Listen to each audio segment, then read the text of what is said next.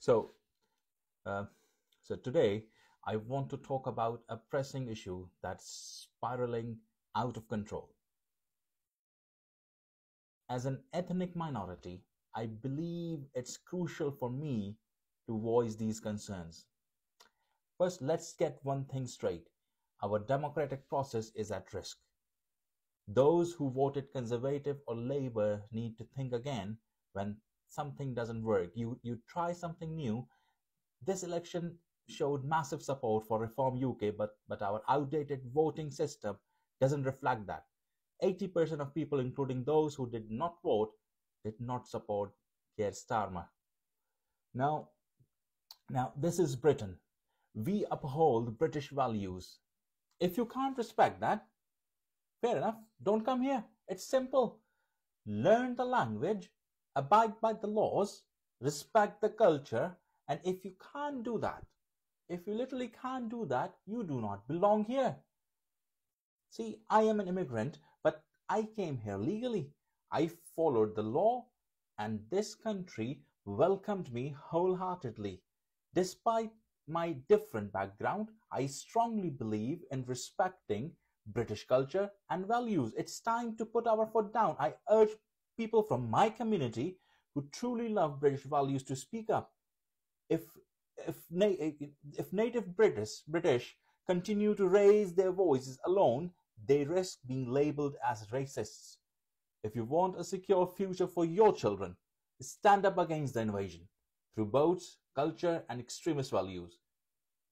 Now, we are we are seeing too many instances uh, where people don't respect the laws or the way of life. We are too lenient. Politicizing the police has weakened their ability to enforce the law effectively. Stop and search practices needs to be properly reinstated. It's a, it's crucial for everyone, including people of color, to speak out. This is not just a white problem. It is, it has become a national issue now. Reports indicate that up to 90,000 migrants set for deportation to Rwanda may have their asylum claims fast tracked under the new Labour government. Now, this sends a dangerous, a very, very dangerous message to the human traffickers. Viral videos show immigrant in Italy trying to reach the UK. We need to control this situation. Take a leaf out of France's book and protest against these policies. If you don't like the way we do things here, then leave. This isn't just one community's concern. It is everyone's problem. We need, we need a strict stance on this issue. British values must come first. British culture and law need to be respected. If that's not acceptable to you or to anyone whatsoever, find a place that aligns with your values. Our current path is leading to chaos. We need to reinstate structure and order. Multiculturalism and diversity have their limits. There, there must be a balance. When in Rome, do as the Romans do. We are at a great risk of losing our national identity.